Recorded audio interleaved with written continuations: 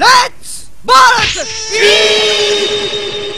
Yung pong gustong maging mag-apply na maging tax specialista, ito po yung logo na ah, o icon na kukunin nyo po sa Google Play Store. Tax mapping din po yung title. Pag pinin, na, na-upload nyo yon o na-download nyo pala, sorry, na-download nyo ho sa inyong sa inyong mobile phone, eh ganito po lalabas, makikita ho ninyo yung screen kung gaano ho kadami yung mga tax specialista na nakakalat ho sa buong bansa natin. Ngayon, kung hindi pa ho kayo reg- registered, pwede nyo ho pinduting ita, start getting client. Yan po yung application. May mga hihingin su- su- sa inyong dokumento at isa sa requirement po ay matrain kayo. Ayan, dapat matrain ho kayo. So, ito ho ay mga tax specialista ho yan. Yan ang makikita ho ninyo. Ma- May consultant nakasulat, di ba? So, naka-open ho yung mobile niya. Nag-iintay lang siya na may tumawag o may maghanap ng tax consultant, magri-ring ho yung telepono niya. So, immediately, pwede ho kayong kumita ng 1,120, kasama na ho yung VAT, para ho sa ganitong hanap buhay. Oo, totoo, tama ka. Parang Uber, 'di ba? Parang Uber ho ang itsura, okay?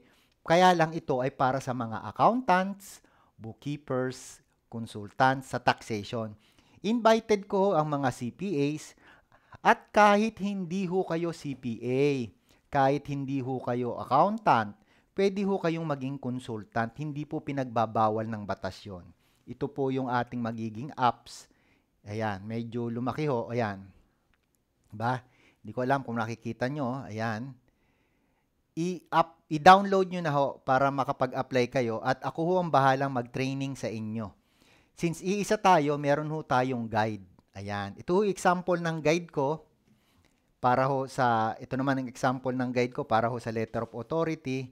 At lahat po ng sasali, eh, bibigyan natin ng ganito kasi ito po yung ating basis sa ating pagpapractice. O, sali na kayo ha. Papakita ko lang ng- ngayon sa inyo yung isang apps natin para paano sir ako makakakuha ng kliyente. Ayan. Ito pang client ito. Ha? Pag pinindot ito ng kliyenteng ganon, oops, lalabas ngayon yung ano yung problem niya. LOA, Letter of Authority, SDT, Subpoena Ducis Tecum. O, alam nyo na, di ba? Ganun lang. So, pag tinanong kayo about LOA, meron na kayo kagad 1,120. Okay? Magkita-kita tayo. Ite-train ko kayo, wag kayong mag-alala. Lahat nagsimula sa walang experience. Lahat nagsimula sa walang alam. Ako po ang magbibigay sa inyo ng experience at magbibigay sa inyo ng alam.